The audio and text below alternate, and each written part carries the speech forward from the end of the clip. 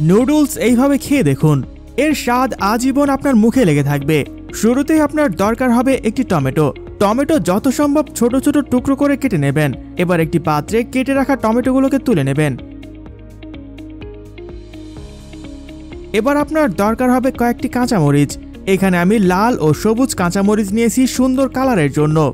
কাঁচামরিচগুলোকে ছোট ছোট টুকরো করে কেটে নেবেন এবং কেটে রাখা মরিচগুলোকেও পাত্রের ভেতরে তুলে নেবেন। এগুলোকে দেখতে মোটামুটি এমনই লাগবে। এবারে চুলা অন করে দিয়ে তার উপর প্যান বসিয়ে নেবেন। তারপর প্যানের ভেতরে বেশ কিছুটা পরিমাণ পানি দিয়ে দেবেন। তারপর কিছু সময় অপেক্ষা করবেন। পানি গরম হয়ে আসলে এবার আপনার দরকার হবে স্টিক নুডলস।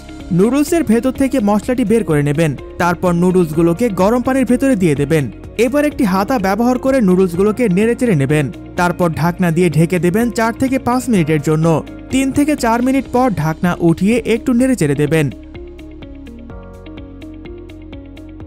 সব শেষ হয়ে আসলে নুডলসগুলোকে ঠান্ডা পানিতে ধুয়ে একটি পাত্রে তুলে নেবেন। সবশেষ এগুলোকে দেখতে মোটামুটি এমনই লাগবে।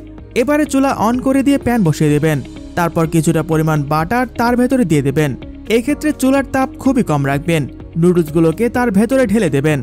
তারপর বাটারের সাথে ভালোভাবে মাখিয়ে নেবেন। ভালোভাবে মাখানো শেষ হয়ে গেলে এবার একটি পাত্রে ঢেলে রাখা চারটি ডিম এর ভেতরে দিয়ে দেবেন। ঠিক যেমনটি দেখতে পাচ্ছেন সেভাবেই।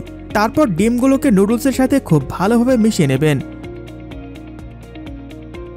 ডিম মেশানো শেষ হয়ে গেলে এবারে তার ভেতরে কেটে রাখা টমেটো ও মরিচগুলোকে দিয়ে দেবেন। তারপর আবারও নুডলসের সাথে খুব ভালোভাবে মিশিয়ে নেবেন। এক্ষেত্রে ভালোভাবে মিক্স হওয়াটা খুবই জরুরি। তবে আপনাদের ক্ষেত্রে বলে রাখি, আপনারা যদি ডিম কম দেন তাহলে খাবারটি ভালোভাবে তৈরি নাও হতে পারে। সবগুলো উপকরণ ভালোভাবে মেশানো হয়ে গেলে হাতা দিয়ে ভালোভাবে গুছিয়ে নেবেন। এবারে কিছু পরিমাণ কেটে রাখা ধনেপাতা তার ওপর এইভাবে করে ছড়িয়ে দেবেন। সবশেষ ঢাকনা বসিয়ে দেবেন। এবার চুলার তাপ একদম কম রাখবেন এবং এটিকে পনেরো মিনিটের জন্য রেখে দেবেন। ঢাকনা তোলার পরে এটিকে দেখতে মোটামুটি এমনই লাগবে। এটি প্রায় রান্না হয়ে এসেছে। এবার এর ওপর নুডলসে থাকা মশলা কেটে ভালোভাবে ছড়িয়ে দেবেন।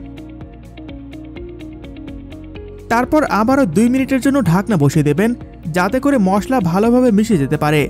তারপর একটি পরিবেশন পাত্রে তুলে নেবেন। দেখুন এটি দেখতে কতটা বেশি সুন্দর।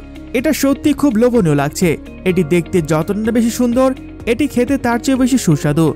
এটিকে আপনারা ইভিনিং অথবা বাসায় মেহমান আসলে তাদের জন্য তৈরি করতে পারেন। এটি ছোট, বড় সকলের অনেক পছন্দের খাবার। এটিতে আপনারা বাড়তি সস ব্যবহার করে খেতে পারেন। এটি সত্যি খুবই সুস্বাদু। তাই এটি অবশ্যই আপনার বাড়িতে ট্রাই করে দেখবেন। দেখা হচ্ছে পরবর্তী ভিডিওতে নতুন কোনো কুকিং আইডিয়া নিয়ে। ততক্ষণ পর্যন্ত সবাই ভালো থাকবেন, সুস্থ থাকবেন। খুদা হাফেজ।